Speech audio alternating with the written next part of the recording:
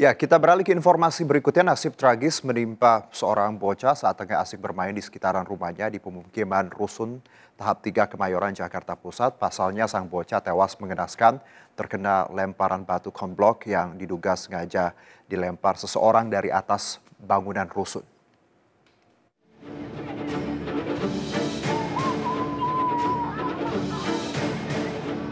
Andri Widodo, bocah malang berusia 10 tahun ini tergeletak tak berjawa dengan luka parah di bagian kepala di sekitaran rumah susun Dakota 3 Kemayoran, Jakarta Pusat.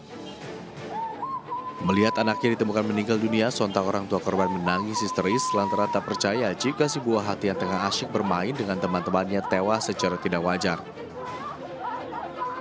Di lokasi kejadian, warga menemukan material bangunan berupa batu konblok yang diduga menjadi penyebab luka di kepala korban. Warga menduga batu konblok sengaja dilempar seseorang dari atas bangunan rusun tanpa diketahui tujuannya. Peristiwa pelemparan batu ini merupakan yang ketiga kalinya terjadi di rusun Dakota 3.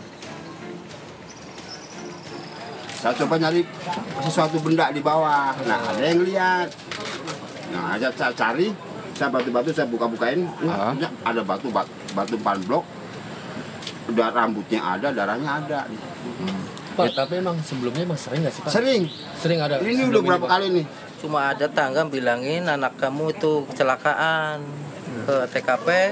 Terus saya lihat anak masih napas sih. Ngap-ngap gitu. Saya angkat bawa ke rumah sakit Mitra. Pas nyampe Mitra itu dokter ngomong udah nggak bisa diselamatin anak. Usai menjalani visum di kamar jenazah Rumah Sakit Cipto Mangunkusumo, jasad korban Malang kemudian dibawa pulang ke rumah duka. Aparat Polsek Bayoran hingga kini masih melakukan penyelidikan guna mengungkap siapa pelaku pelemparan batu tersebut. Dari Jakarta, Radisson Sanjaya Anyus melaporkan.